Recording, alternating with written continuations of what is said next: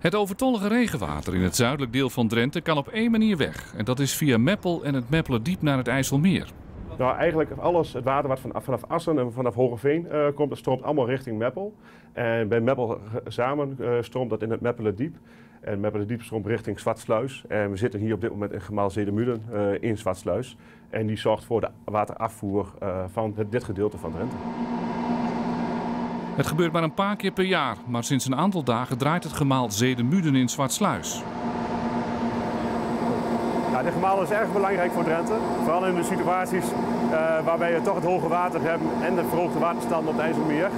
Met het gemaal kunnen we toch de waterafvoer borgen uh, richting het IJsselmeer. Ja, je ziet hier de verhoogde waterstanden vanuit het IJsselmeer. Daardoor heeft Rijkswaterstaat de sluis gesloten. Uh, deze sluis uh, zorgt ervoor dat het water niet richting Meppel geduwd wordt en daardoor, daardoor geen verhoogde waterstanden optreden. In Drenthe liggen verschillende waterbergingsgebieden. In Zuidwest-Drenthe in Nationaal Park Dwingelde bijvoorbeeld, rond het riviertje de Reest en op deze plek.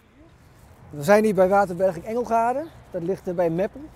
En dit is een uh, van de waterbergingen die we hebben gegraven om bij, bij extreem weer, bij heel veel neerslag, om het water tijdelijk te kunnen parkeren zodat Meppel droge voeten houdt. Deze waterberging vangt het water uit de Wolte A op. En dat is voor het eerst. Het is een beetje voor het eerst dat hij nu echt nodig is. En ja, hij is ook aangelegd vanuit 1998 toen het in Meppel misging.